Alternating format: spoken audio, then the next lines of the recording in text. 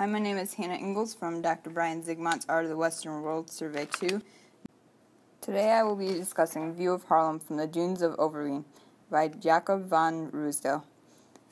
He is a Dutch landscape painter and he painted this around 1670 and was, this was probably his most famous piece of that time. The first part of this work I'm going to talk about is the lower right hand corner. In this corner we can see a hint of a sand dune, which helps us to see that he's getting us from a higher vantage point. That way we can see over the landscape.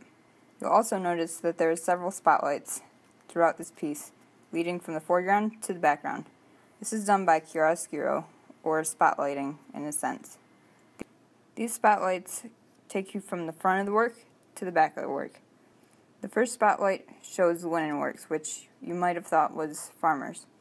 Some believe that this owner of this linen works may have commissioned this painting, however, this was also an important industry of the time. These workers would lay linen out in order for the sun to bleach it so it could be sold. In the middle ground of the painting, there are still workers laying out linen, however, there's more open space there. This also helps to lead you to the back of the painting. In the background, we can see the top of a church. This is the Church of St. Bavo. This church helps us identify that this is Harlem, because that was a famous landmark of the place. Chiaroscuro is used really well in this painting through clouds, which help to guide the spotlights to these several areas of the painting.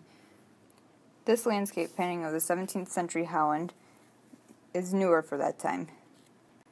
We've seen landscapes painted before, however, this one doesn't have a subject included.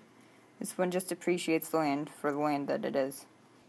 In conclusion, this painting, which uses the dramatic lighting of chiaroscuro, helps to shine a light on the new and upcoming theme of landscape paintings.